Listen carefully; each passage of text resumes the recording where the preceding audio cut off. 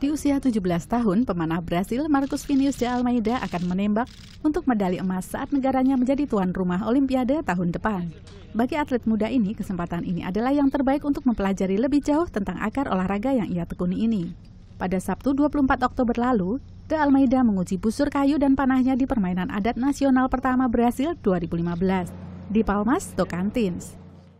Eu sempre gostei muito de aprender novas culturas e a cultura indígena. Saya selalu suka mempelajari budaya baru, dan budaya asli sangat memesona. Saya pikir ini sangat penting. Kita harus belajar banyak dari suku asli. Olahraga saya berasal dari zaman peperangan, bukan hanya dari suku asli. Jadi ada kemungkinan besar untuk pertukaran antara disiplin profesional, pemanahan, serta busur dan anak panah versi suku asli. De Almeida menjadi terkenal tahun lalu saat ia menjadi juara kedua dalam Piala Dunia Panah dalam usia 16 tahun. Ia juga berhasil menyabet medali perak dalam Olimpiade Pemuda di Nanjing di tahun yang sama. De Almeida berkata untuk Olimpiade tahun depan ia harus tetap fokus. É esporte de repetição se você repetir, Ini adalah olahraga berbasis repetisi. Jika Anda mengulang 99%, maka Anda bukanlah 100%.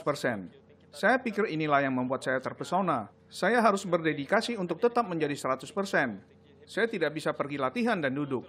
Saya harus mengulang, ulang, ulang. Ini harus menjadi sesuatu yang alami, seperti berjalan.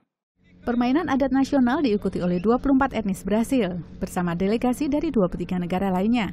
Selama 9 hari mereka akan berkompetisi dalam berbagai permainan seperti kano, cikunahati yaitu permainan sepak bola dengan kepala, serta lari estafet dengan batang pohon.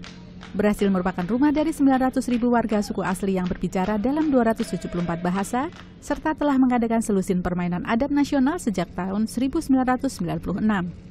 Di seluruh dunia diperkirakan ada 370 juta orang suku asli yang membuat lebih dari 5% populasi dunia menurut PBB.